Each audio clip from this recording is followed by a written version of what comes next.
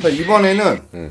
조국 전 장관이죠. 다시 올라올 수 있는 뭐 기운이라든지 뭐 이런 게 있나요? 이분은 그냥 학자로 계속 가실 걸? 아 정치 안 한다? 음. 안 하는 거예요? 못 하는 거예요? 둘 다 안 할 것 같아.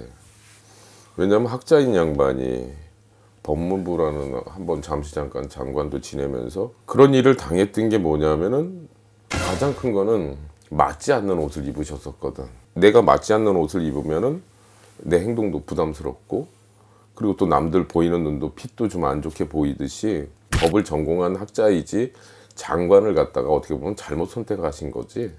그러다 보니까 가족들도 뭐 그런 식으로 어떻게 보면은 근데 지금의 정권한테 크게 다치셨고 또 몸담고 있던 그 정권에서도 어떻게 보면 지켜지지 지켜주질 않았거든. 철저하게 당하신 케이스거든. 어떻게 보면 희생양이 되셨던 분이라 글쎄 학자로 가시지 정치로 다시 재개하실 분은 아닌 것 같아.